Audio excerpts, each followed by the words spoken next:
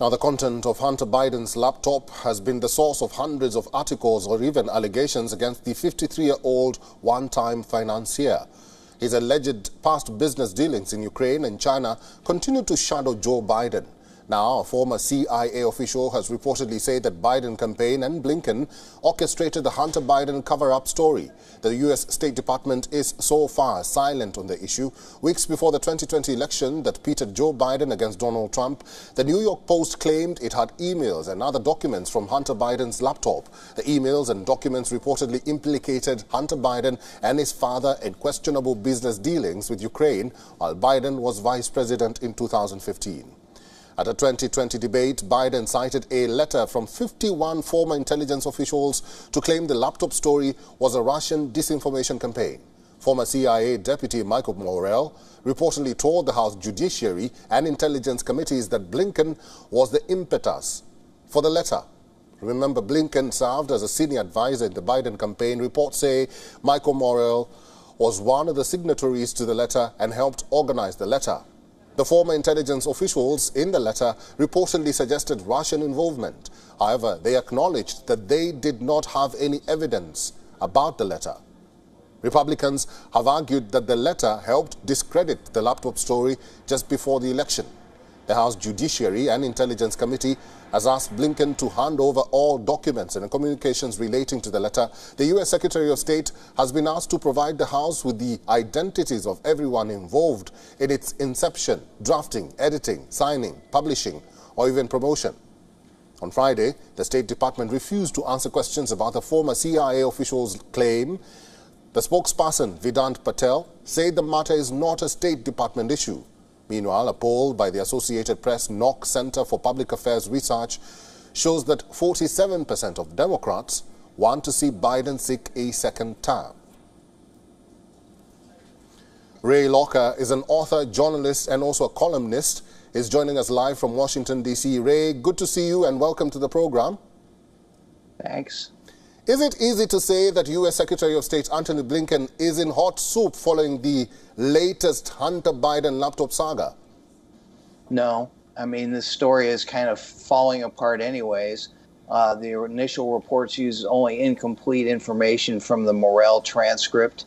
Um, that's something that this committee or these Republican controlled committees have been doing for a long time when they're in charge of the House. They release selectively edited information. It looks bad, and then you find out there's no there there. They've had the Hunter Biden laptop for more than two years. Where's the evidence of anything? Right. There is no evidence.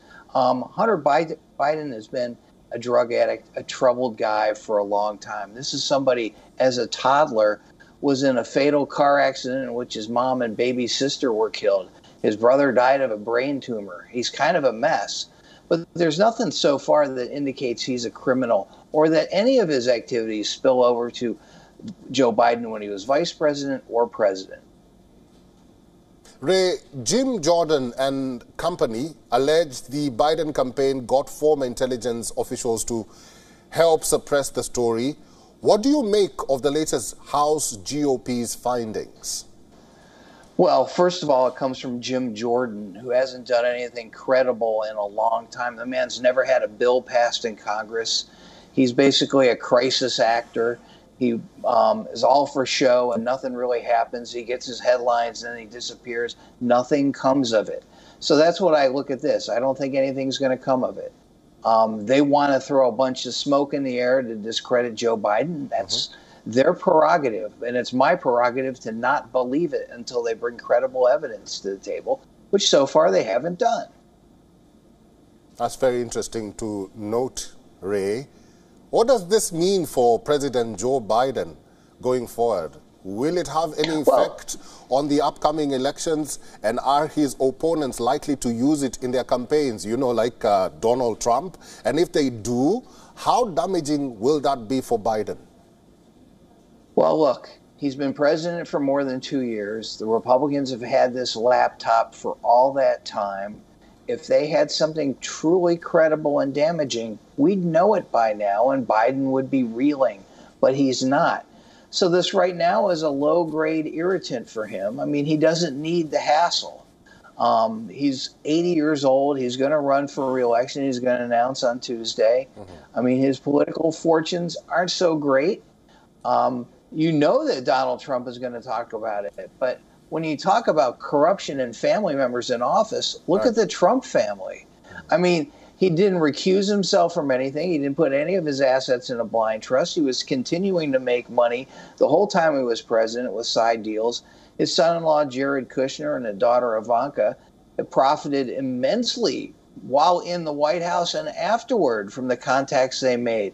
And we're worried about Hunter Biden and a few hundred thousand dollars he made from the Ukrainian gas company Burisma, which I admit, bad move. You don't want to be doing that. But come on.